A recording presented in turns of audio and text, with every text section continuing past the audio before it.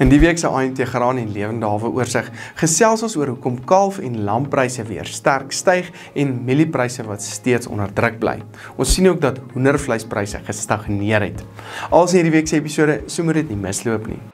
Hierdie oorsigte word moontlik gemaak deur Standard Bank wat 'n belangrike rol speel oor die hele waardeketting van die plaas tot wanneer die produk die winkelrakke tref. As gevolg hiervan verstaan Standard Bank die landbou-ekosisteem en die neigings en risiko's in hierdie sektor en kan Standard Bank leiding gee oor die regte finansiering, versekerings en bedryfskapitaaloplossings. Standard Bank, it can be.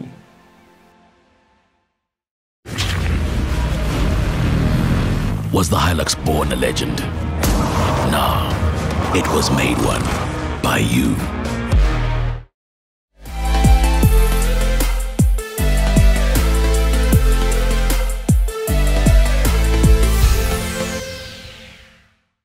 Ek is Johnny van der Merwe en welkom by hierdie week se AMT Graan en Lewende Hawe oorsig waar ons na die nuutste pryse en tendense kyk in die landbousektor van Suid-Afrika. Kontak my ook gerus indien jy belangstel in meer gedetailleerde verslae. Die wisselkoers was redelik stabiel die afgelope week en verhandel op R14.83 per Amerikaanse dollar. Energiekoste raak ongelukkig steeds duurder met die Brent olieprys wat styg na $86.27 per vat. Daar is reeds kommer oor voorgestelde stygings in brandstofpryse plaaslik en die impak wat dit op insetkoste vir die komende seisoen gaan hê. In die vleisbedryf het die nasionale gemiddelde produsentprys vir speenkalvers, dis natuurlik 'n plaashekprys wat vervoer en kommissie uitsluit, gestyg na R39.87 per kilogram met die prys wat op R39.50 verhandel in die Oos-Kaap. Min diere is steeds beskikbaar en voerkrale doen ook steeds laat aankope vir die Desember mark wat vraag nog hoog hou en dus pryse ondersteun. Die afgelope paar jaar was slagpryse ook beter in Januarie en Februarie as gewoonlik wat ook speenkalf aankope op hierdie oomblik uh, ondersteun en vraag op 'n hoër vlak hou. Die A-graad slagprys beweeg verder opwaarts en verhandel op R53.13 terwyl die C-graad prys styg na R45.11. Klas A veilingpryse met 'n 55% uitslagpersentasie in ag geneem, beweeg opwaarts na R50.15 per kilogram. Soos verwag, styg die nasionale gemiddelde plaashekprys vir stoorlammers na R45.26 met baie min diere wat beskikbaar is in die mark steeds. Die sentrale streeksprys het ook gestyg na R46 per kilogram.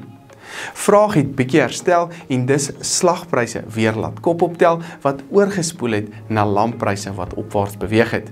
Die gemiddelde A23 slagprys styg na R82.67 en kry die sentrale streeksprys ook bietjie ondersteuning en styg na R82 vir hierdie week. Die C-graad prys verhandel opwaarts na R67.24 per kilogram. Hoendervleispryse het wel bietjie gestagneer met die sterker wisselkoers wat ons so 2 of wat weke terug gehad het. Die gevriesde prys daal na R29.28, varspryse styg bietjie na R31.13 terwyl die EQF prys verhandel op R27.38 per kilogram. Die swakker wisselkoers intussen die laaste 2 weke of so het weer bietjie veroorsaak dat ons moontlike hoër pryse kan verwag oor die komende paar weke. Varkvleispryse styg ook verder die afgelope week met die gemiddelde prys 2.5% hoër op R27.30. Die vleisvarkprys styg na R28.16 terwyl spekvarkpryse styg na R27.25. Worsvarkpryse het gestyg na R22.34 per kilogram. Bokpryse het wel bietjie die wind van voor gekry as gevolg van laer vraag. Grootbokpryse daal na R40.06, kleinbokpryse daal na R67.81 terwyl bokkooipryse daal na R43.97 per kilogram. Die verwagting is dat hierdie pryse moontlik verder kan afwaarts beweeg oor die komende paar weke. Op die nuutste wolveiling het die gemiddelde prys met 2% gestyg na R166.78 per kilogram. Die Australiese wolprys het ook goeie ondersteuning gekry op 22 Oktober se veiling wat laasweek was en met 3.5% gestyg met Chinese vraag wat baie goed herstel het en vraag oor die algemeen wat beter was op hierdie veilings. Onthou om hierdie week se varsproduk markoorsig op AMT se YouTube en Facebook kanale nie mis te loop nie waar ons bietjie meer gaan gesels oor aardappelpryse wat steeds besig is om te daal. Vir enige aanlyn verkope asook aankope direk vanaf die boer, besoek gerus Naal.x se aanlyn markplatform wat jou gaan help met die effektiwiteit van jou bemarkingskanaal. Kontak ook gerus vir Andrew en sy span by Halfway Toyota waar jy die beste pryse en diens landwyd vir die Toyota van jou keuse sal kry. In die graanmark het die nuutste naby maand wit en geel mielie sywaarts beweeg die afgelope week na 3160 en 3320 rand per ton onderskeidelik. Die Julie 22 prys het opwaarts verhandel na 3136 en 3270 rand per ton onderskeidelik. Die FSA oes is tans 50% voltooi het ongeveer met rekordopbrengste wat steeds moontlik is. Daar is tans min weerrisiko, maar vraag bly steeds teleurstellend wat pryse baie sywaarts hou vir nou.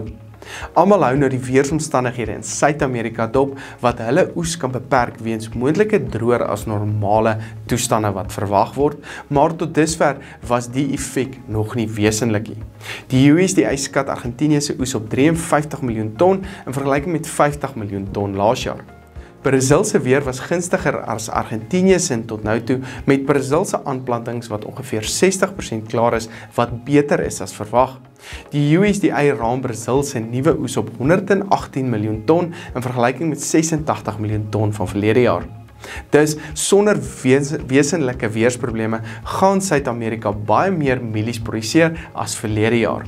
Globale aanbod gaan dus meer word wat versekerde impak op wêreldpryse gaan hê. Daar gaan dus beter vraag veral vanaf China moet kom om pryse op huidige vlakke te hou. Hoër vraag na etanol, veral met die hoër oliepryse wat ons tans sien, kan dalk ook pryse ondersteun en bietjie van hierdie aanbod absorbeer. Die nabymaandprys vir sojabone styg na 7215 met die Mei 22 prys sywaarts na R7140. Die sonneblomprys handhaaf sy hoë vlakke en styg weer die afgelope week na R10911 met die Mei 22 prys op R8850 per ton. Koringpryse sak egter bietjie terug en verhandel die naby maandprys op R5681 terwyl die Desember maandprys op R5790 per ton verhandel. Katoenpryse verhandel op R3305 per ton met die nuutste suikerboonprys steeds op R22000 per ton en Lucerne Supreme Lucerne kwaliteitspryse op R3150 per ton vervoer uitgesluit in Douglas natuurlik. Hierdie video's word moontlik gemaak deur Standard Bank, Naal.ag en Halfway Toyota. Ek is Johnny van der Merwe en dankie dat jy ingeskakel het.